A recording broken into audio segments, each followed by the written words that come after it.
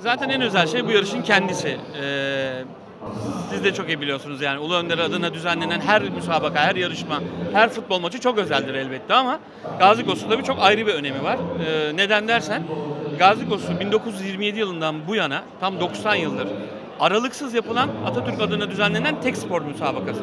Bu onu zaten çok özel ve ayrı, ayrıcalıklı kılan bir durum. Yani ee, 1927'den bu yana darbeler, türlü ekonomik buhranlar, sıkıntılar, siyasi sıkıntılar, onun dışında birçok sıkıntıya rağmen Gazi Kostu tam 90 yıldır e, aralıksız olarak sürdürülüyor ve burada bugün e, Büyük Önder'in e, anısına 90. kez koşulacak.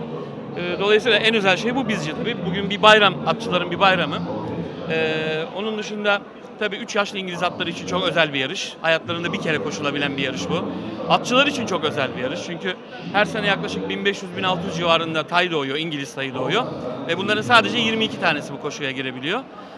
2 yaşlıdan itibaren koşmaya başlıyor taylar. Ee, elde ettikleri her performans sonrası bir puan alıyorlar ve o puanlar toplanıyor toplanıyor. İşte en son bugün finalde bugün koşacak 22 atta olduğu gibi e, bir sıralamaya tabi tutuluyorlar. E, her atçının rüyası. Herkes bu koşuyu koşmak istiyor. Herkes bu koşuyu kazanmak istiyor.